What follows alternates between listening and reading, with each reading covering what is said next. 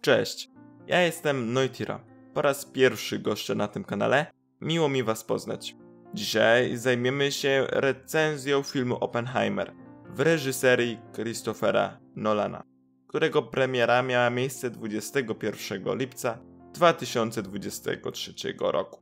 Jest to film biograficzny oparty na książce Amerykański Prometeusz autorstwa Martina J. Sherwina i Kaja Birda. Opowiada o życiu Roberta Oppenheimera, zwanego ojcem bomby atomowej, zaczynając od jego nauki na Uniwersytecie w Cambridge, przez popularyzowanie fizyki kwantowej w USA, po projekt Manhattan i lata powojenne. Casting aktorski jest niezwykle trafiony. Cała ekipa aktorska zrobiła dobrą robotę w oddaniu charakteru, manier i akcentów granych przez siebie postaci.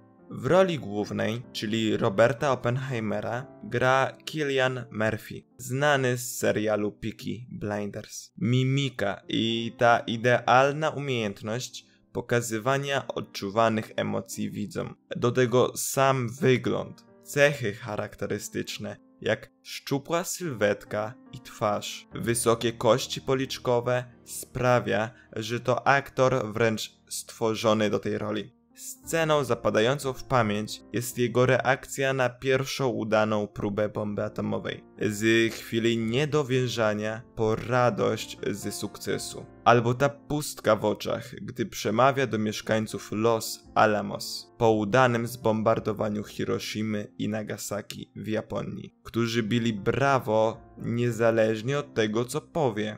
W pozostałych głównych rolach mogliśmy zobaczyć Emily Blunt, grającą fenomenalnie żonę fizyka Kitty Oppenheimer, Mata Damona, grającego generała Leslie Grovesa oraz Roberta Downey jako Lewisa Straussa, idealnie wcielających się w swoje role. Ogólnie można powiedzieć, że nikt nie odstawał i każdy prezentował wysoki poziom aktorstwa. W filmie jesteśmy prowadzeni przez trzy linie czasowe. Faktyczną akcję życia fizyka, jego dni jako studenta, doktora, kierownika projektu Manhattan. Drugą linię czasową jest przesłuchanie Oppenheimera i związanych z nim ludzi przez AEC, gdzie sugerowano komisji, iż był sowieckim szpiegiem przez prawnika powiązanego z wrogami fizyka a ostatnią linią czasową, którą oddzielono od reszty filmu poprzez nagranie jej w czerni i bieli, jest perspektywa Louisa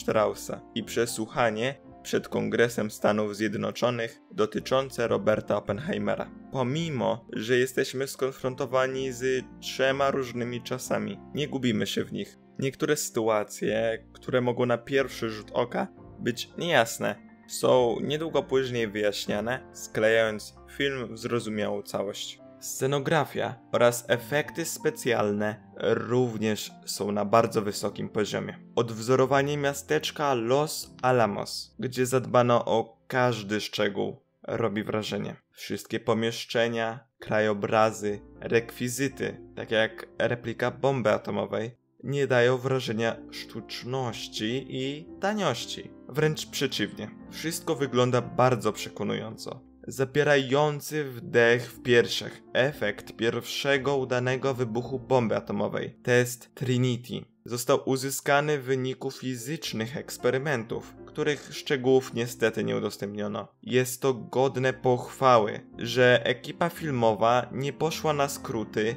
i nie polegali na wszechobecnych filmach, efektach CGI. Obecne w filmie efekty specjalne nie mają jedynie za zadanie ładnie wyglądać, ale współgrać ze stanem psychicznym głównego bohatera. We wcześniej wspomnianej scenie, kiedy po udanym już teście Trinity Oppenheimer przemawia do mieszkańców Los Alamos, mamy wgląd do wizji jakich doświadcza postać. Widzimy oślepiające światło, padające na słuchaczy fizyka, podobne do tego przy detonacji bomby. Słyszymy świsty i piski, przeplatane z klaskaniem uradowanych słuchaczy. Po czym wracamy do obserwacji twarzy Kiliana Murphy'ego, za którym tło drży i faluje, a sam aktor przyjmuje sztuczny uśmiech.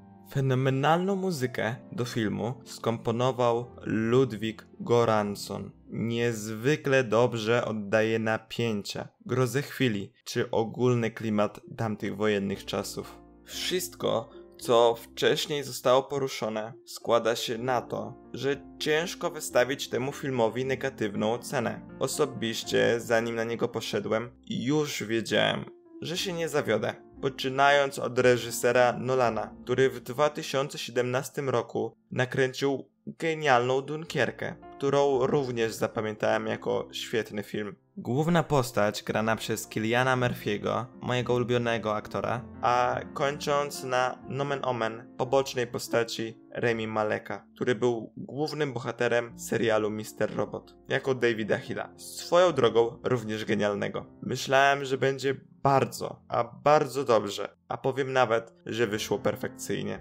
Reżyseria, aktorzy, scenografia, efekty specjalne, muzyka. Wszystko jest na bardzo wysokim poziomie. Do tego na filmie byłem w IMAXie, więc jakość samego oglądania była jeszcze lepsza. W ocenie od 1 do 10 daję uczciwe 10 na 10. Zapraszam do zgłębienia tego tematu. Polecam bardzo dobrą serię na kanale Kopernikus o bombie atomowej i powiązanych z nią aspektach. Jądro ciemności. Link w opisie. Dziękuję za oglądanie do końca. Jeżeli film się Wam spodobał, zostawcie łapkę w górę. Jeżeli nie, to łapkę w dół. A w komentarzach napiszcie, co Wy sądzicie o najnowszym dziele Christophera Nolana. Now I am become death, the destroyer